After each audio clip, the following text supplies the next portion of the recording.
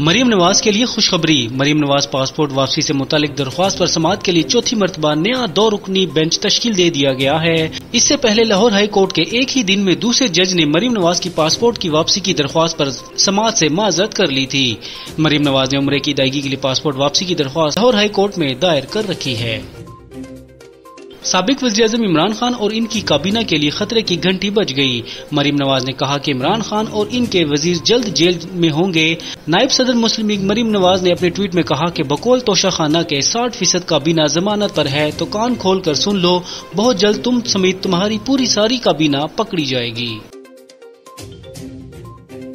Election commission ने अपने दफातर के बाहर पीटीआई एहतजाज के बाद सख्त रद्दमल दिया है। सीपी का कहना है कि इलेक्शन कमीशन एक आईनी इदारा है। इलेक्शन कमीशन मुकम्मल गैर जानबदारी के साथ अपनी आईनी कानूनी जिम्मेदारियाँ सर अंजाम दे रहा है। फॉरन फंडिंग केस की समात में ताखिर के हवाले से बाज हल्के गैर जिम्मेदाराना बयान दे रहे हैं। कराची धमाके की तफसीलात सामने आने लगी। कराची यूनिवर्सिटी में होने वाला धमाका खुदकश था। कराची यूनिवर्सिटी में होने वाले खौफनाक बम धमाके के नतीजे में गाड़ी में सवार दो खातन समेत तीन चीनी बशिंदे जहाँ भक हुए, जबकि चौथा शख्स मुमकिन तौर पर गाड़ी का ड्राइवर हो सकता है। लाहौर हाई कोर्ट में हमजा शबाज की हल्फ बर्दारी के लिए दायर दरख्वास्त पर महफूज फैसला कल सुबह दस बजे सुनाया जाएगा। चीफ जस्टिस ने रिमार्क्स दिए कि कोशिश की सदर को मुकम्मल एहतराम दिया जाए, लेकिन लगता है इन्हें ये बात पसंद नहीं आई।